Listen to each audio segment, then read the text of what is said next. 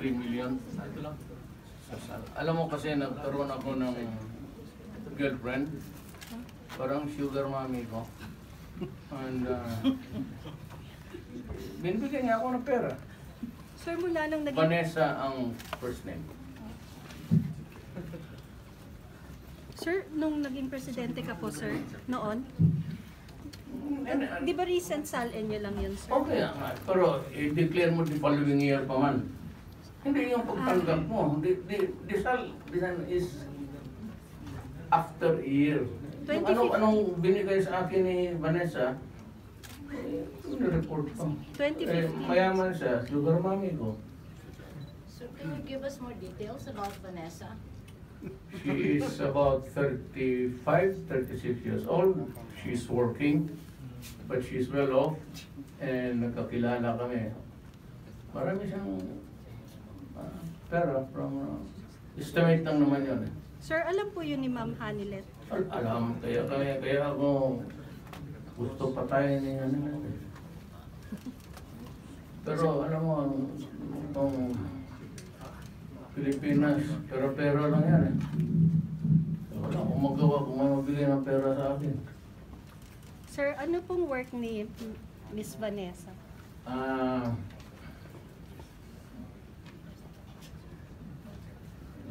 siya, parang...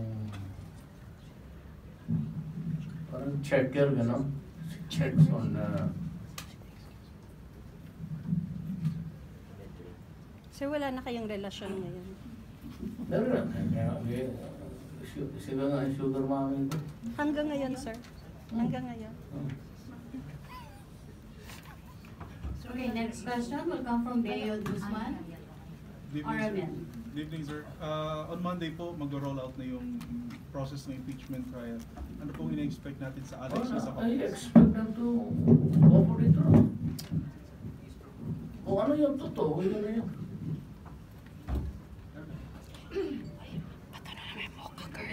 Uh, next question, Mr. Ben Teshorna. Mayor, uh, there's a study here in Hong Kong uh, that three out of five OFW domestic workers have inadequate accommodation, meaning maliliit talaga. Ano, anong balak ng... No, see, there, there's a legislation, I was informed, and it uh, will uh, uh, correct the inadequacies. Uh, sinabi nila sa akin yan. Sir, but It's, uh, it's legislation. not letters. Excuse me. Mr. I was promised that there's a, there's now a pending, uh, law, not law, but a pending, uh, how, how would you call it? A bill. Good evening, sir. Sir, may we know kung i-appoint niyo rin yung mga girls sa government? Not all, uh, but kung gusto nila magtrabaho, tatrabaho ako, there's nothing wrong in uh, working for government. I, absolutely, I, I, I see none. So, sir, sa- saan po position, sir? Ah, well, uh, hindi pa lang pwede na maging ano, uh, uh, secretary. But, but that, that is a, a, a job that is appropriate to this qualification. John Villanueva. Walang problema ang tingin ko sa isang Pilipino na maghanap buhay. Sir, can you expand on the OFW bank? Na-acquire na ba yung postal bank? Yeah, in the process, we're acquiring it. We, we are now preparing the law. Gusto ko, pati yung Marino, separate bureau or uh, whatever na ano kasi ang gusto nila ganun rin. Pinapapasa sila kung saan saan sila pumunta. I want a building. All for themselves where they can get the following requirements from government. And I told government to go online Sir, would that bank operational by October as mentioned? ano no, mahirap yan Ah, pag-aralan pa ng itas ko pas Congress Okay, Doris. It cannot be done by an executive here. Doris Bigarnian, ABS-CBN. Sir, pa-clarify ko lang po, yung doon sa tulong sa mga OFWs, yung bukod sa ah, inhuman na pag ah, sleeping quarters nila, ano po ang pwede nyo pang maipangako sa kanila, like yung kanilang mga problema sa mga recruiter? a young recruiter, if I have the cooperation, ang problema kasi wala tayong, we need an agency dedicated just to regulate itong mga recruitment. And uh, making it illegal to operate independently sans the government participation. Pagka illegal recruitment is wala kang lisensya, automatic yan. So magka-crackdown ang gobyerno? Yes. I will go uh, after, kagaya ng mga ditong 5-6. Okay, uh, Benjamin Del Rosario. Sir, you, yung you're going to the Belt and Road uh, initiative sa China, ano, what do you hope to gain there? Po. specifics? We, we have listened to the presentation. It's all economics. There is no advance uh, copy in our hands. There is no previous uh, notices of what it of what uh, will be taken up there, and uh, uh, we have we have to see the blueprint. But uh, I think it's all an economic situation. Yung pakikipag-usap niyo, uh, will there be bilateral talks? Yes, plenty. Uh, Uh, Turkey and uh, Mongolia. And of course, uh, China. Ano kuya yung, pwede lang sabihin yung ano? Hindi ko talaga, uh, uh, I, I cannot, I cannot uh, give you the imponderables so like. Okay, please state your name now. Yeah. Okay, kaya happen. Mike, Mike. Yeah. Si Asong Cañete po ng HFL TV tsaka GMA News po dito. 25 years na po ako sa Hong Kong. Oh, Yeah, sir, galing po to sa inyo. Yeah. So, ang tanong ko po dito, mga 4 years po, ang problema po ng mga Filipino overseas Filipino workers dito ay yung OEC.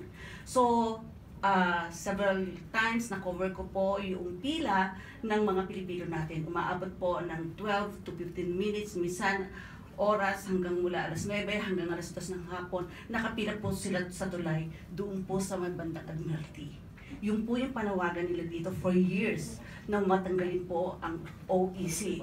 Nagbago po ito nung nagkaroon po ng online ah, kind of pagre-register. wala naman OSC ngayon certificate. No, sir. Hmm. Meron pong online na ginagamit po. Pero given po ng kakulangan ng ibang Pilipino po natin na hindi malaman po doon sa teknolohiya at yung iba po naman talaga ay may problema pag, sa pag-register, nagkakaroon po ng problema. Ang bottom line po, ang kailangan po nila sana, ang panawagan po ng mga OFWs natin ay tanggalin ang OEC. Ilang beses na po itong napangako, pero ganun pa rin po, sa pagbabago po ng maski ng online po na pamamaraan, nagkakaroon po ng problema. That there has to be uh, an aberration somewhere in the system. Yes. I will ask uh, uh, Bebot Belio to study. Uh, I'm not too familiar with the, I mean, wh- what, what is wrong here and what is not. So I will ask Labor to conduct a study. I just give them, ano ba ngayon? May until the end of the month. Yeah. Then, by the end of the month, you can tell our uh, countrymen here that I will now decide. Well, basta may, may, I I have thought some basis actually. Okay, thank you. I would not pretend to know uh, something which I do not uh, have in my hands. Thank you po. Okay, with with your permission, Mr. President, can you accept another uh, accommodate? Yes, uh, Yeah, Cheryl. Good evening, Sir. Cheryl Yes. Arcibal from Hong Kong News. Um, I understand po, mag, mag, nag-uusap daw po ang China and Manila about the possibility of signing a labor agreement about sending Filipino workers in China. Can you tell us more about this? uh, wala ako because the, the, e- e- even the, the study itself, I am not uh, uh, posted. It might be dito pa lang yan sa baba masyadong uh, the, the, the suggestive uh, uh, substance of what uh, the agreement would be. So it's all, uh, ang, the ball is in, in the Department of Labor. Thank you, sir. Okay, thank you, thank you, media, uh, friends from the media, thank you, Mr. President. So you are satisfied with Vanessa? Pare, hayaan mo para matanong na sila kung sino si Sir, lagi mo binabanggit si Eh, Ma'am basta, Vanessa. pag hinabol na ako ng komisyon ng pati BIR, sabihin ko na totoo. Ngayon, uh, yung lahat ng totoo about Vanessa. Pero as of now, she remains, uh, uh, hindi naman, uh, incognito, but uh, mabait siya. And uh, someday I will uh, reveal the truth. Pero ngayon, mag-ano, mag-ano kayo, saan talaga galing ang rebellion? May pera yung babae. Is she single? Yes. Uh, mukhang... Ayaw na sabihin ang totoo kung separated siya o single. Sir, taga Mindanao po, Hindi, taga Manila. Manila. Kailan pa? She has, been traveling with me uh, every labas ko. Ah, sir, nandito po siya. This time wala. Uh, this time wala. Pero in previous uh, labas ko, she was uh, always uh, a member of the Gusto na ni Bong isabihin ng lahat sabi ko. Sir, kailan pa po siya sugar mommy po ninyo? Oh. Ano po? Kailan pa po siya sugar mommy po ninyo, sir?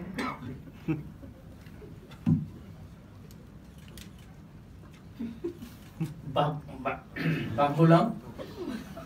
Hmm, after uh, the, the, the elections.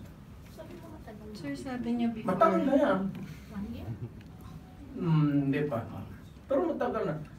Six months is matagal na. Nine, ano ko man. Matagal na yan ah. So, sir, last year lang po nagsimula. Ayoko na magtanong. Nayan ako. Okay, okay, thank you, thank you, Tina, thank you, Mr. President. Ba o hindi? Are you serious? Sir? Sir, totoong tao yun. Bahala na sila kung malaman na sila. Sir, nagjo-joke ka ba? Oo. Let them find out with you. Huwag ako pa magsabi na. So it's not a joke, sir? It's serious, sir. Are you serious? Kita mo sa interview ko sinabi, hindi ako serious. Hindi nga. Kaya nga ako. About Vanessa and the 3 million. Kaya nga, ah, ano, totoo. Pwede namin sulatin, sir. Baka.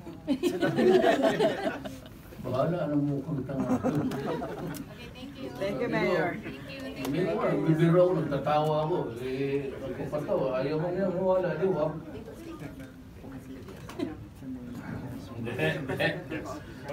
Sobra yan sa yung dumating na wala ng purpose ang pera. Tapos hindi ko na malaman kung sino-sino. Maliit Kaya hindi ito eh. mabalik, sir. Ay, sorry. Oh, yun ang dineclare ko na si Inka. Inka, may nandyan sa kamay ko eh. Mm, Oh, Inka. Tingnan ninyo sa return, nandoon yun. Pati sa SALN. Nagbayad ako ng ano, income income tax. tax. Okay, thank you, Mayor. Thank you. Thank you, Mr. President. Suso ko sa nabi ng babae sa garmami. Sira ang story namin.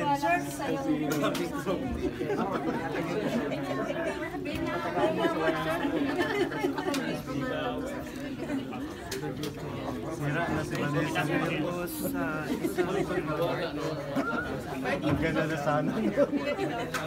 Hindi na ako makakuha ng picture.